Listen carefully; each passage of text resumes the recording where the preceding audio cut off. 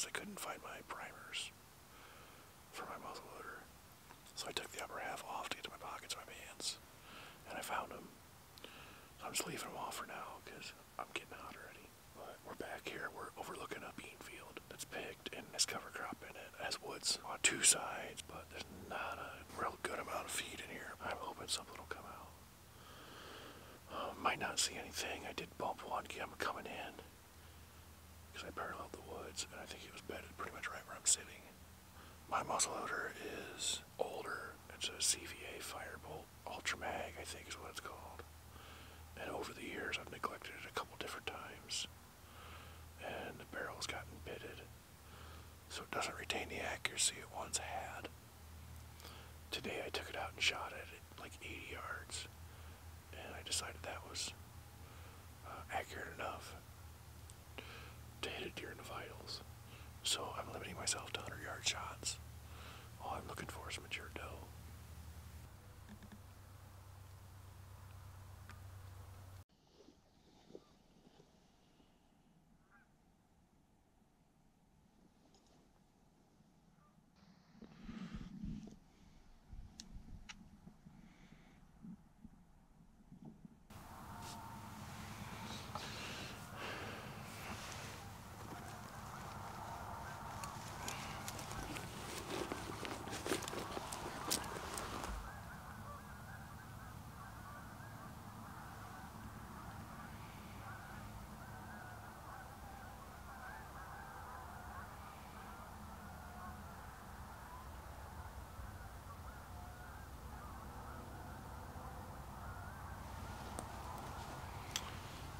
So we have four does.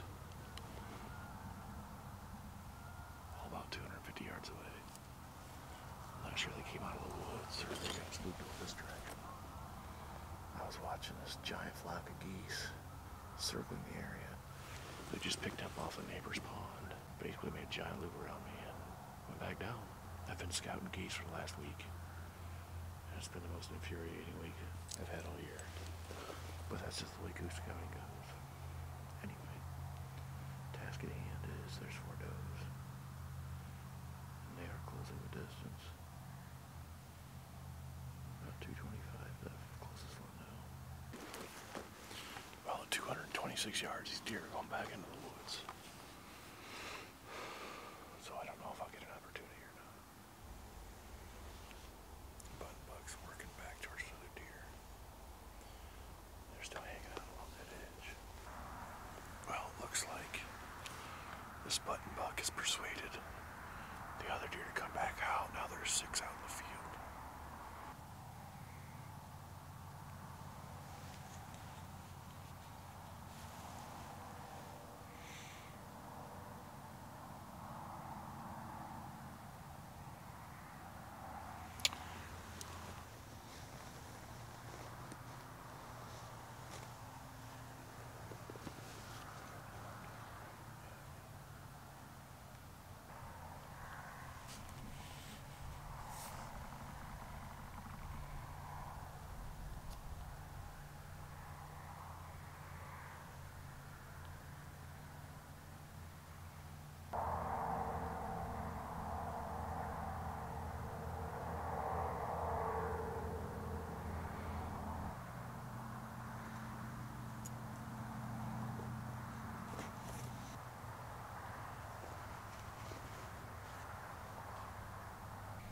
Big buck just stepped out over here. I don't have a tag for him, but I definitely want to video it. It's a nice one. It's like a 10 point. 245 yards. It's very promising. I haven't seen a good buck on this property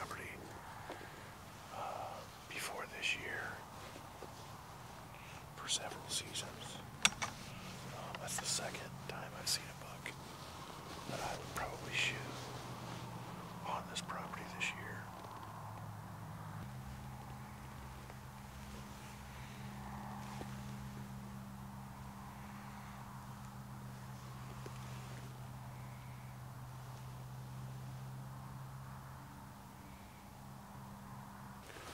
It's a nice buck. 200 230 yards. It's coming this way.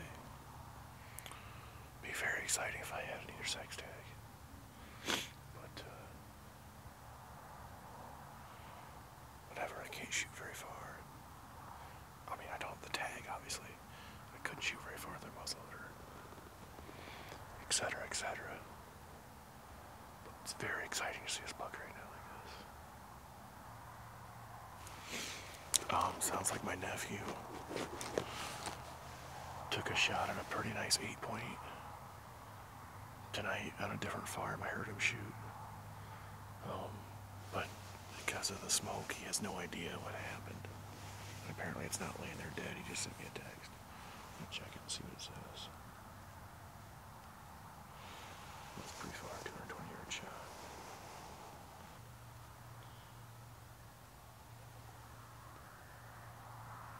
Oh, wow.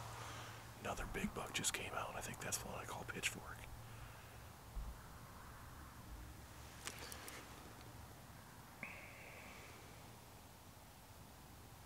Undoubtedly, that is pitchfork. Oh my gosh. I can't tell you how excited I am to see him. I, I, I might have seen this deer earlier in the season. I don't know. I know I had a few pictures of him. I said, I call him pitchfork. Because from a certain angle, his tines make a pitchfork shape. I mean, that's two definite shooters. It's just nuts. Sunset right now, 522. I don't know if he knows something's up. I got too many screens going on. I'm tipping them off. That's an amazing deer.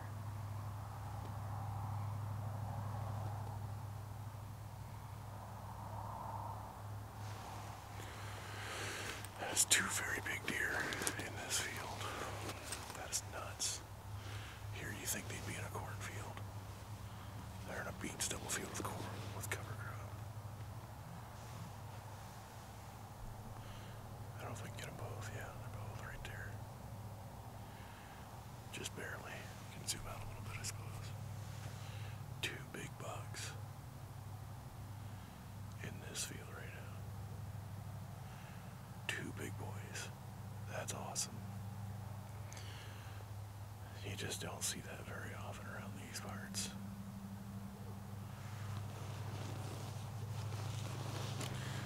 I mean, I'm so excited that I didn't shoot that doe. So I could get this footage. I can't even describe it. I hope that next year I have a crack at this this eight point I call pitchfork. He is just oh, he just turns me on. That right there makes you want to shoot big deer.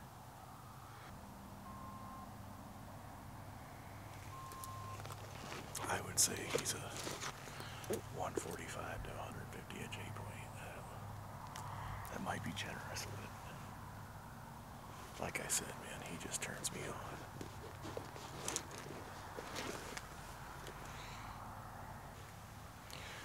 You're perfectly safe. Just put on a show for us.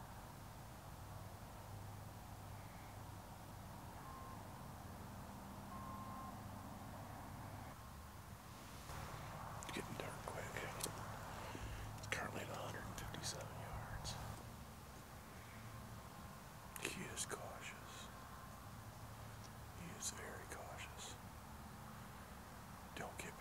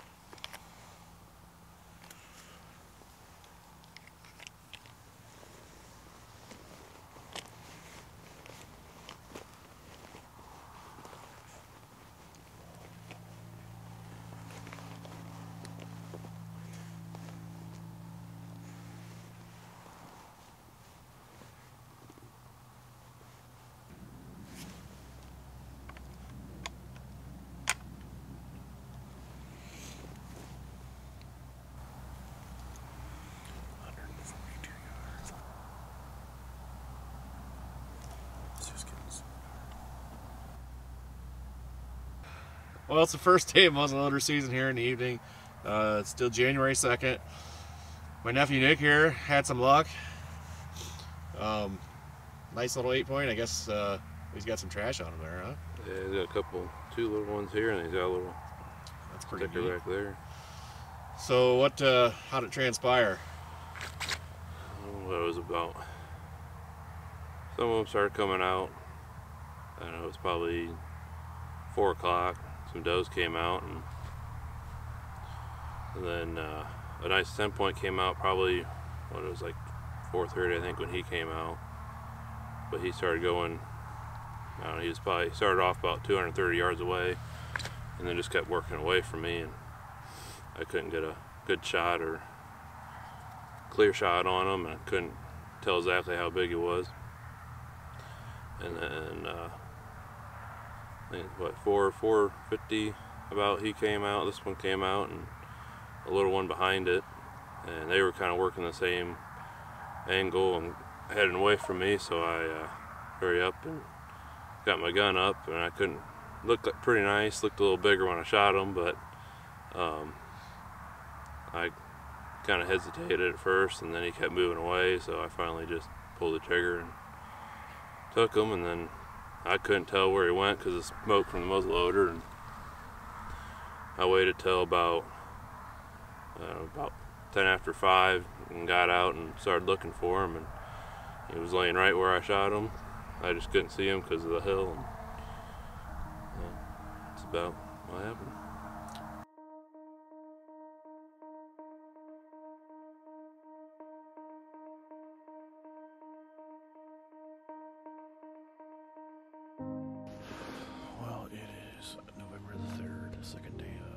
Muzzleloader season. Um, back out here in the evening. It's about 4 o'clock. About 37 degrees out. Uh, light mist has been persisting despite not being in the forecast. Hopefully that stops and my gear doesn't get wet. Got my eye wall on again. It's seen a lot of service this season. Uh, getting pretty dirty. A lot of mud stain, a little bit of blood stain. Um, we're sitting over a similar field to last night crop wise. It's a big bean field with a cover crop. Woods right next to it. I'm not as excited about tonight's hunt. There's not as much place for them to hide here. I'll probably see a bunch in the distance, but um, I'll be shocked if something comes out in range. But I just wanted to do something a little different tonight, and uh, this was it, I guess. Between the, the wind and everything, this is kind of what I was left with. So we'll see what happens tonight days of muzzleloader season after this. I don't know if I can get out both days, but we're gonna try.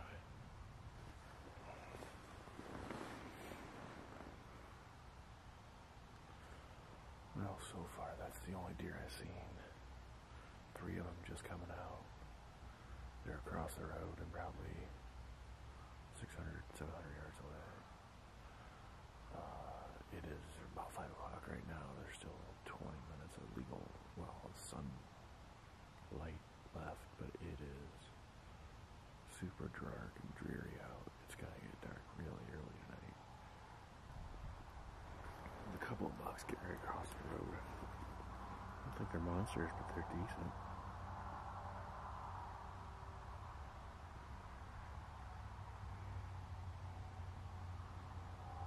I don't like he's well inside his ears.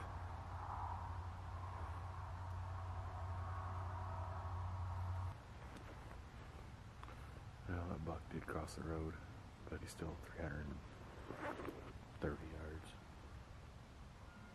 Nothing matters to me. That's actually not him. He's clear over here in the cornfield already.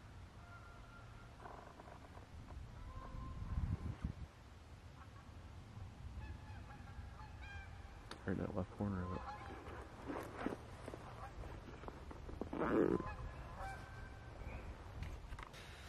Well, we're not quite out of legal light yet, but uh, we're definitely out of camera light. I got this thing set as bright as it'll go, and this is my brightest lens, and I can't see anything past oh, 100 yards. I not even that far. Um, I just I can't film in this light anymore, so we're gonna call it a day. Got to see uh, some deer, but uh, just like I figured, it probably wouldn't work out here. It didn't, there's always tomorrow. See what happens.